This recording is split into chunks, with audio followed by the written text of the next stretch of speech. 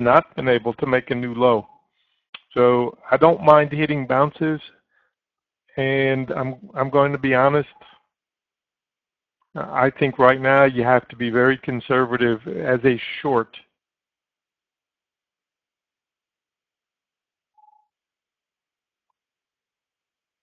I, I'm not saying that we can't short today.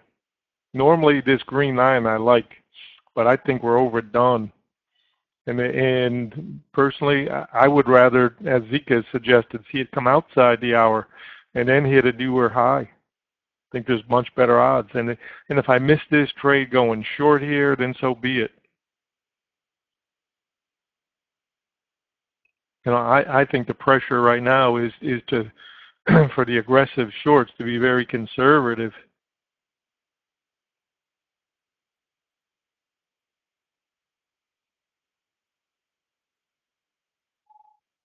See, uh, see a lot of a lot of aggressive traders out there trying to short in the middle, and I don't get that. Can't you know those traders probably miss what we already got.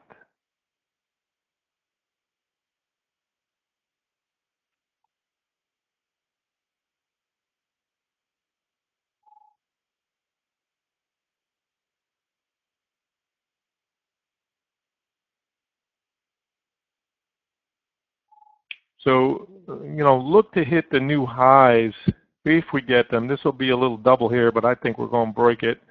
I think we've trapped a few traders.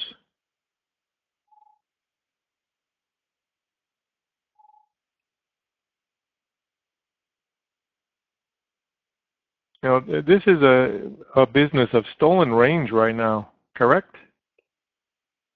And we've had a big plunge already, so some of the range is already used.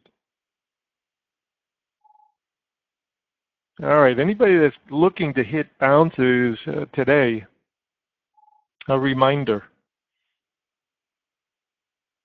We are scalping short.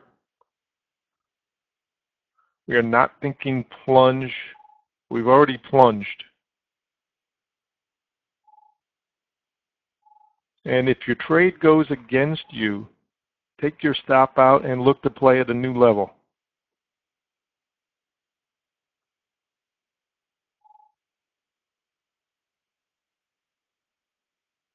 This 39 was a previous support level. So if anybody's entering back in here in, in this 39 to 38 region, a reminder, this, this is a very aggressive level still. And use your stop. If it doesn't work, just take your stop. And it's my ex expectation that scalps with the trend are easier than just trying to guess the bottom. And that being said, I still think we're going to get a bear flag before we're done. Uh, I just think there are too many shorts who think uh, this is just like shooting fish in a barrel down here. We've come a long way. And and uh, Oase, he put out a great post. You know, trade location. He, he's bearish, but he has the same thinking we do. You know, his support zone 34, 33. You know, we're a point or two under him, but same same idea. We're too low. So so that's why I said probably we'll come out with range trading first more than anything. And then we want to keep an eye on the NQ because that's been the leader.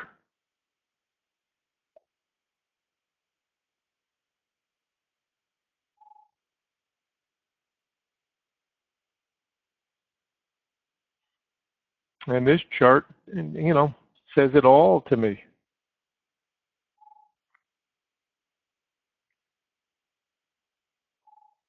Take a look at the weekly chart too. I'm, it's catching my eye here, this green line right here on the weekly chart.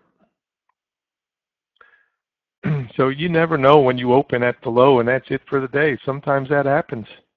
and, and then we'll bounce all day long. So I, you know, I said the odds for shorting 33s, 32 is not very good. So anybody wants to to hit it, um, be aware that my guess is we're going to, we're going to print in the 40s before we're we're done today. Be very surprised if we don't